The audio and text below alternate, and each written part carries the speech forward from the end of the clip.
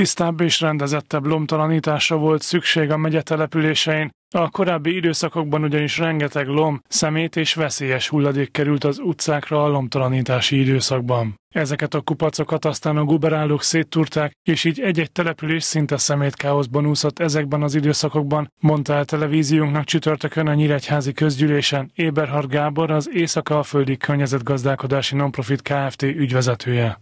Azt a megoldást választottuk, amit egyébként a jogszabály már régóta lehetővé tesz, sőt előnyben részesít, hogy házhoz menő lomtalanítást vezetünk be.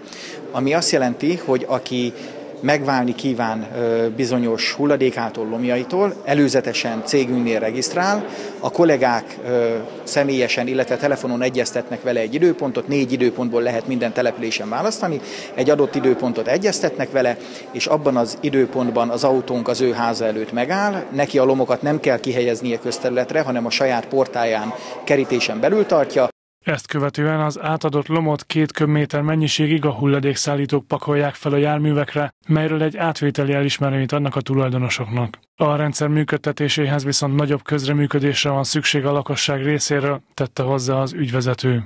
Minden háztartásba eljuttattuk ez év elején a gyűjtési, hulladékgyűjtési naptárunkat. Annak van egy szép színes oldala, és van egy fekete-fehér hátoldala, és ezen a hátoldalon részletes információkat találnak a lomtalanításról. Mikor lehetséges az, és hogyan, milyen feltételekkel, mit kell nekik ahhoz tenniük, hogy ezt így meg tudják valósítani.